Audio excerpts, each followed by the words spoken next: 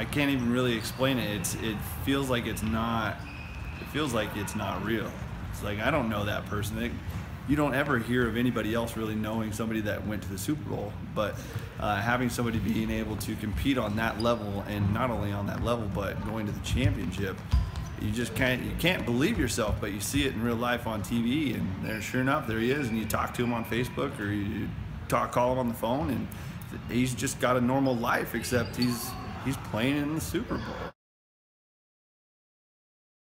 Shea means a lot to this community. When he comes home, he goes down to the schools, meets with the kids, and hangs around down there with the kids. And he's uh, always been a part of this community and his family. And we love to um, have some of his memorabilia around here in our city and at our auction and stuff. Uh, backing him, it's always been a real close community, and, and sports is a big, big part of the community just because the town being the size it is.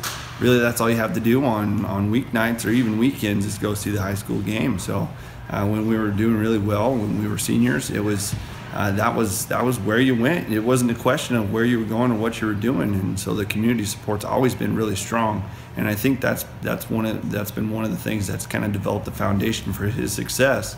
Is not just the local community here, but a nice a nice uh, base of support that he has with his friends and his family and the people that he surrounds himself with.